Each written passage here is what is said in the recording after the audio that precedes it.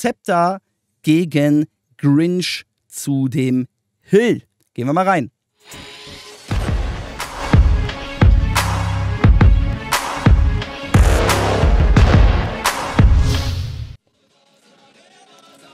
Zepter immer, immer erfrischend irgendwie gewesen.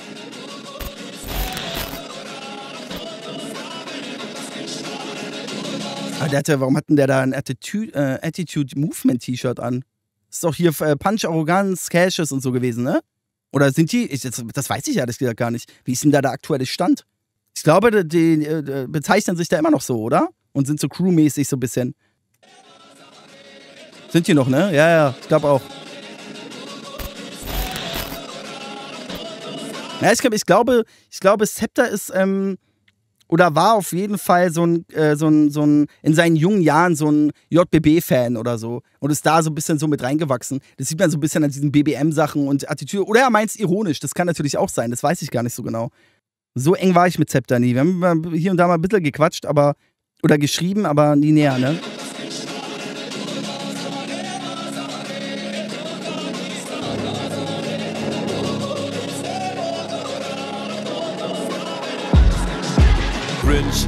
Okay, äh, ungewöhnlicher Beat ne, für ein Zepter. Eher so ein klassischer JBB-Final, äh, was weiß ich, Beat.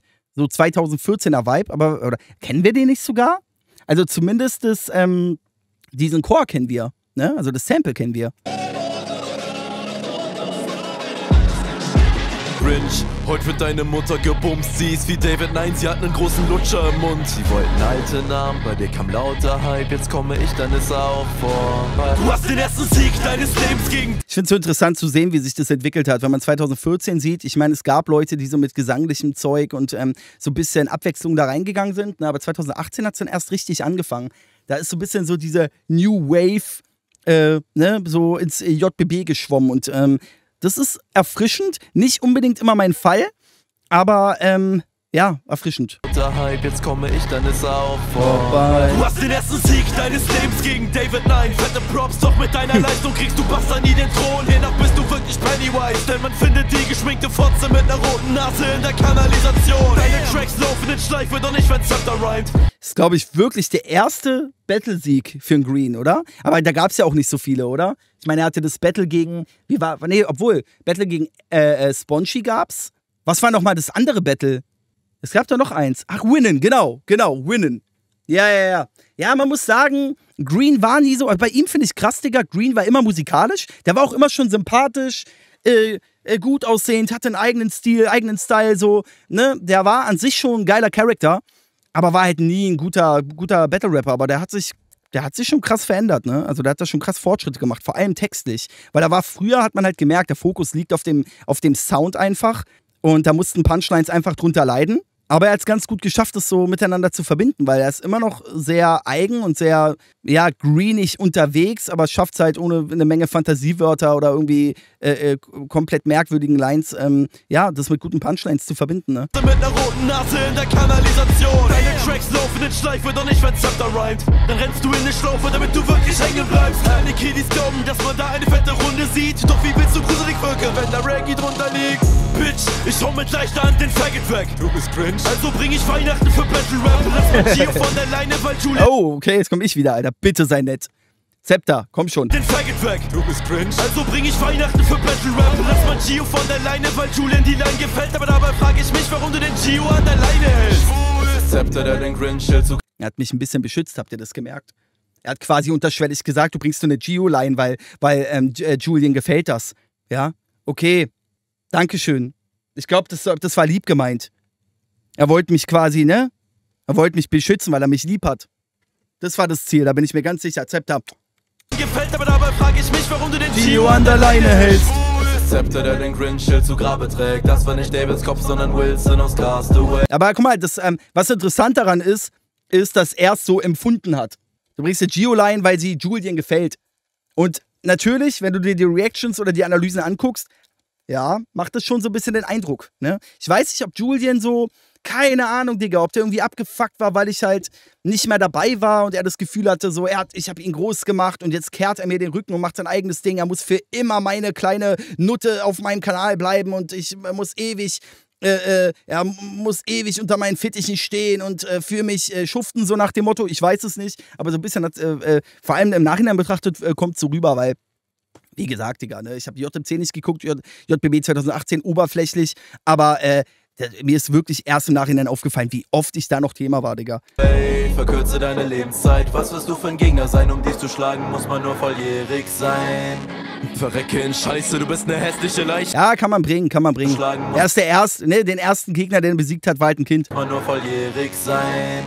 Verrecke in Scheiße, du bist eine hässliche Leiche, bei der die Fresse zu bleich ist auf dein Video. Ah, fuck, warte mal, hab ich eine gute Line verpasst? Cost Away Line? Warte mal. Weil Julian die Line gefällt, aber dabei frage ich mich, warum du den Gio an der Leine hältst. Zepter, der den Grinch-Schild zu Grabe trägt. Das war nicht Davids Kopf, sondern Wilson aus Castaway. Verkürze so. deine Lebenszeit. Was wirst du für ein Gegner sein? Um dich zu schlagen, muss man nur volljährig sein. Verrecke in Scheiße, du bist. Wegen diesem äh, angemalten Ball da in dem Film, ne? Gegner sein, um dich zu schlagen, muss man nur volljährig sein. Verrecke in Scheiße, du bist ne hässliche Leiche, bei der die Fresse zu bleich ist. Auf dein Videoteam wird letzten Endes nix reißen. Ich parodier lieber Rapper als Marcel Hesse zu beiten. Du besiegst mich nicht mit deinem Rap, du Niete, Papajana gar nicht, bin zu fett zum Das heißt ja mit Marcel Hesse. Ach so! What the fuck? Ich hab grad, ich hab, ich hab kurz diesen Namen nicht zuordnen können. Alter Zepter, der ist aber hier, ne? What the hell? uh. Ja, aber man merkt auf jeden Fall, Zepter hat so ein bisschen er hat, glaube ich, schon so ein bisschen ähm, so, so seinen Style so ein bisschen in die Richtung ja, angepasst, die, die Julian auf jeden Fall mehr mag. Ne? Aber vorher war er nicht so ernst unterwegs. Das hatte dadurch natürlich auch einen gewissen Charme. Das hier hat eine, eine klassischere, klassischere Video-Battle oder JBB-Battle, muss man vor allem sagen, ähm, klassischer JBB-Battle-Vibe. Ich weiß gar nicht, ob ich das besser finde. Also so rein aus Battle-Sicht bestimmt ähm, aus so Charme und äh, stilistischen Gründen mochte ich das eigentlich sehr gerne, dass er so verspielt rangegangen ist. Er lässt zwar noch so ein bisschen durchblicken, ne, aber halt nicht mehr so krass. Du besiegst mich nicht mit deinem Rap, du Niete, Papajana, gar nicht, bin zu fett zum Fliegen. Vollgas in der Sache, BBM. Was ist mit der Kapuze wie ein Damon-Fan? Du besiegst mich nicht mit deinem Rap, du Niete, Papajana, gar nicht, bin zu fett zum Fliegen. Der Vegetarier wird weggefickt, Her, wie ich dich mit meinem Skill in Silent Kill. Wenn ich dir die Zunge rausschneide, bist du Silent Hill, der Grüne und der Grinch. Ja, okay, naheliegende Line, naheliegende Line. Silent Hill. Ja. Meinem Skill in Silent Kill, wenn ich dir die Zunge rausschneide, bist du Silent Hill. Der Grüne und der Grinch, die sind eigentlich das gleiche. Da gibt es keinen Unterschied, denn beide finde ich scheiße. Das Leben eines Hippies wird per Bleistift beendet, dessen Heuchler seine Schminke vor dein Kleintieren getestet. Fick ich geschminkte Fotzen, beschweren sich die Faggots, denn es sendet mit verschmiertem Mascara und Tränen in der Fresse.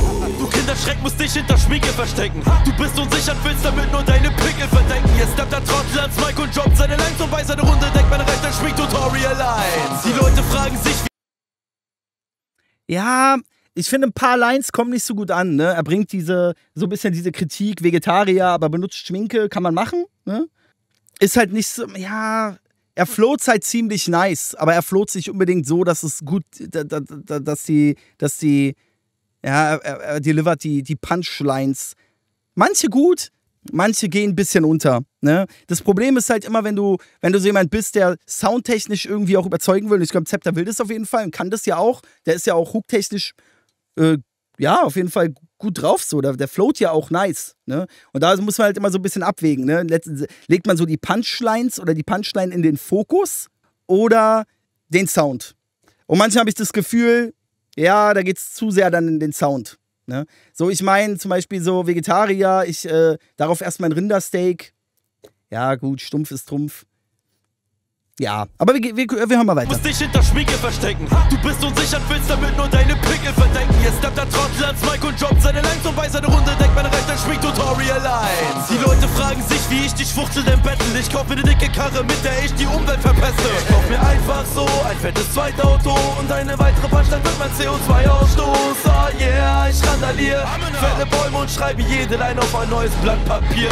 Deine Umwelt bezahlt teuer, du Armleuchter und das gründet Ja, geht für mich ein bisschen, weiß ich, trifft für mich irgendwie nicht so. Ja, so, ja, du, du achtest auf Tiere, du achtest aufs Klima und ich bin ganz, ganz böse und ich schreibe auf ganz vielen Blättern, weil ich so ein Umweltverpester bin und darauf keinen Wert lege. Ja, kann man so funny-mäßig bringen, aber äh, trifft jetzt nicht so. Jede Line auf ein neues Blatt Papier. Deine Umwelt bezahlt teuer, du Armleuchter. Und als Gründe den Abschluss gieße ich etwas Öl in das Meer. Du besiegst mich nicht mit deinem Rap. Das war, fand ich trotzdem fand ich witzig. Bäume und schreibe jede Line auf ein neues Blatt Papier. Deine Umwelt bezahlt teuer, du Armleuchter. Und als Gründe den Abschluss gieße ich etwas Öl in das Meer. Du besiegst mich nicht mit deinem Ja, da mag ich, das mag ich aber, wie er es betont hat. Ey, die Runde ist aber nicht scheiße oder so. Auf keinen Fall. Äh, die, die, die, die hat schon einen coolen Vibe, Digga. Der rappt ist auch sehr safe, die ist musikalisch, da sind Punchlines drin. Ich finde die Angriffsflächen manchmal ein bisschen.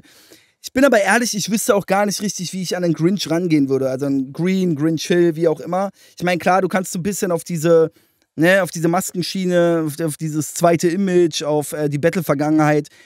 Aber Green ist, glaube ich, echt gar nicht so ein leichter Battle-Gegner. Ohne dass es zu naheliegend wirkt. So. Rap, du Niete von Vagina, ja, ich bin zu fett zum Fliegen. Vollgas in der Sache, dauer BBM. Du wirst mit der Kapuze wie ein Damon-Fan. Du besiegst mich nicht mit deinem Rap, du Niete von Vagina, ja, ich bin zu fett zum Fliegen. Der Vegetarier wird weggefixt, darauf erstmal.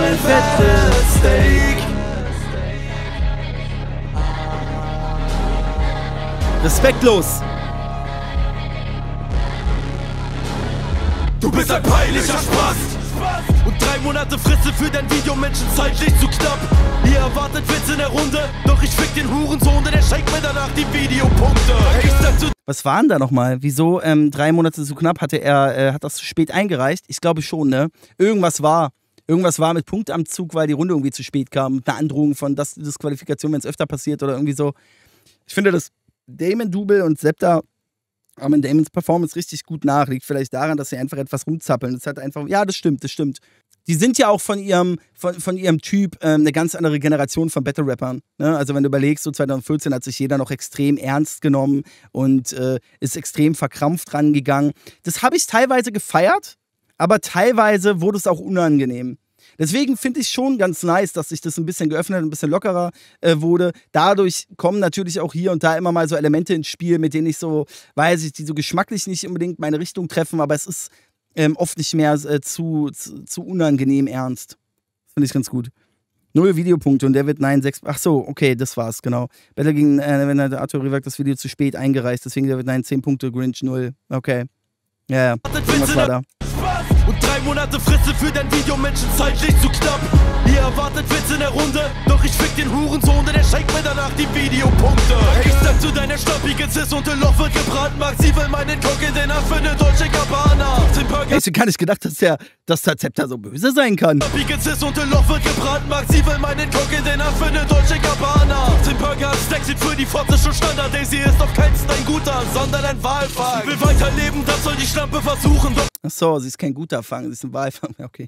Daisy ist auf keinen Fall ein guter, sondern ein Wahlfall. Sie will weiterleben, das soll die Schlampe versuchen. Doch ein Wahl mit dem Menschenherz, ey, das kann doch nicht gut gehen. Sie hatte vor, sich ihren Kummer von der Seele zu schreiben. Doch ihr Aber irgendwie, ne? Es ist irgendwie traurig, wenn man sich so überlegt, dass die besten Punchlines oder die, bei denen man das Gefühl hat, die, die hauen irgendwie am meisten rein, immer die gegen, seiner Schwester, gegen seine Schwester sind. Irgendwie, sag, irgendwie ist das traurig, oder?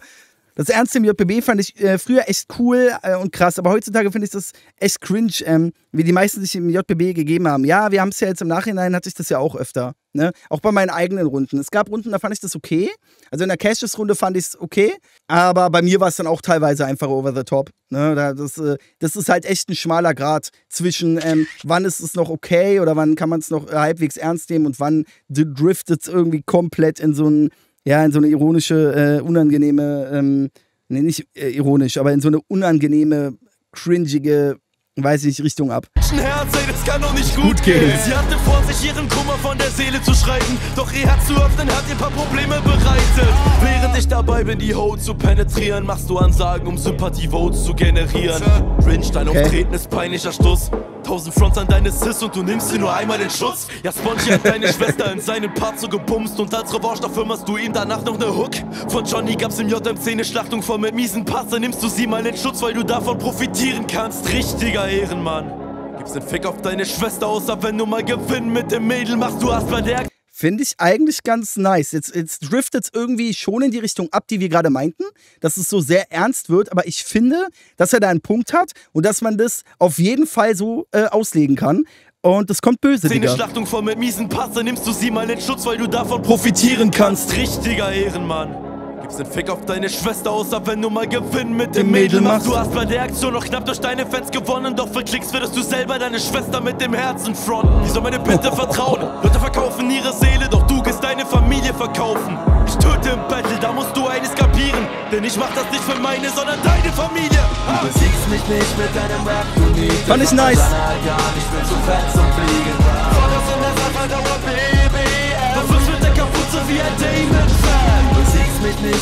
Fand ich geil. Was ich auch geil fand, ist, dass es in eine andere Richtung dann gegangen ist, als ich erst dachte. Erst dachte ich, okay, ne, Schwesterleins. Ich meine, die, die haben trotzdem gescheppert so, aber von meinem Gefühl hatte ich einfach direkt so, ja, ist halt irgendwie schade, immer die Schwester-Ding, es knallt natürlich, aber schade, dass halt die, die, die, die, ja, die anderen Lines nicht annähernd diesen Impact hatten. Ähm, und das am Ende das war, was so hängen bleibt. Äh, aber er hat es inhaltlich ganz gut gedreht und auf eine andere Ebene gebracht. Und ich fand, das hat er auch gut gemacht. Das hat er sehr gut gemacht. Ähm, das war mal wieder so ein bisschen dieses real talkige JBB-Feeling, aber auf eine geile Art. Also viele haben ja versucht, so diese Richtung zu imitieren oder in diese Richtung zu gehen und viele sind gescheitert. Auch ich selbst bin äh, an meinem eigenen Maßstab gescheitert. Aber er hat's gut gemacht. Rap, du Niete. Frag mal Jana gar nicht, bin zu fett zum Fliegen. Der Vegetarier wird weggefixt.